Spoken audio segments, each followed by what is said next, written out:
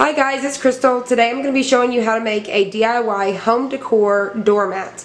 And um, we're going to be using the Cricut Design Space. So let me jump right in and show you that I've already created my design. And I've got it uh, flipped sideways. So what I did is I have it for like a 12 by 24 mat. And I made mine 18 inches long. And um, so we are ready to cut this out. This is so we're going to go ahead and hit the go.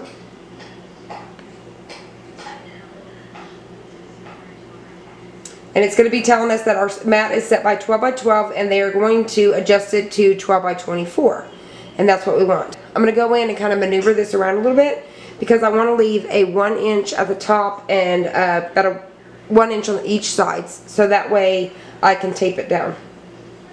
So there we go. I think we've got it right where we need it and we're just going to hit go. We're going to be using the 12 by 24 mat and then we are going to be using the Room Essentials um, doormat from Target. And it is $9.49. So super cheap. You can get this at Target and I believe Home Depot. And they both, I think it's about the same same price.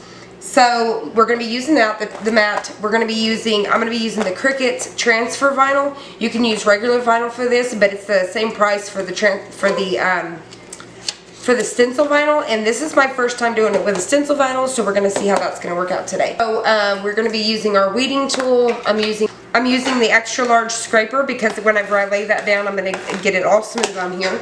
And then you have a pair of scissors to um, to cut your vinyl and um, painter's tape to hold it down.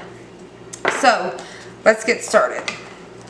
So what I did was I put the mat down first and I figured out kind of centered where I want it to be. So I know that I can only work between 12 by 24 because that's how long I am.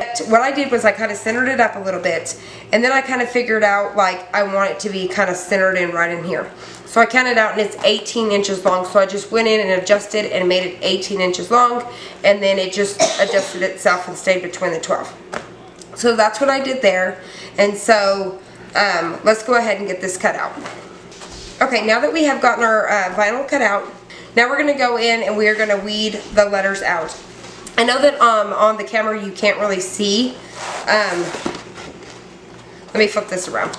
So I know that you can't really see um, the letters on here because it looks like I never even cut it. But let me go ahead and cut out the letters here and show you.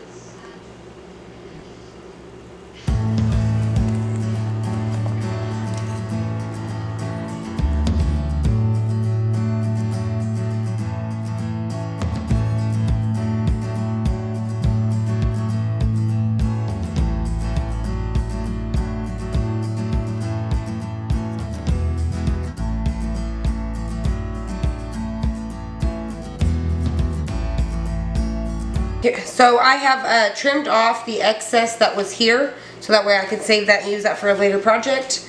And um, so here we go. We're going to for the mats. Now my mats, I get them from Cricut and you get two in a pack for $17.99 on their site. But they always have sales and I think I got mine for about 12 about um, say $12.50, $12.99 for two. So you guys should really check that out.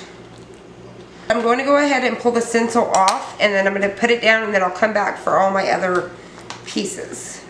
Now that we have the uh, stencil vinyl down, we are ready to uh, paint it. So I have it all taped off. So now I am ready to add the paint. I am using the Apple Barrel Multi-Surface um, Black and it is for outdoor, indoor use. And I got this at Walmart. I think they're $1.97.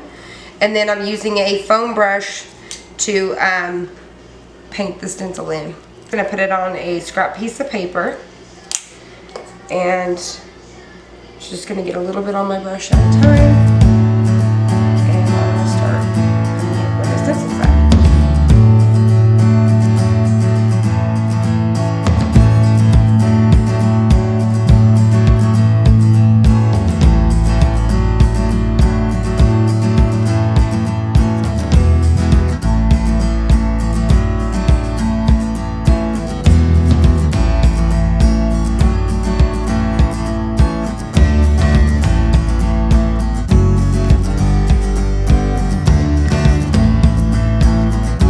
So now we um, have removed this part um, and you can pull it off while it's still wet because this is still, you can see that this is still wet. Um, I'm just going to pull off the little pieces now.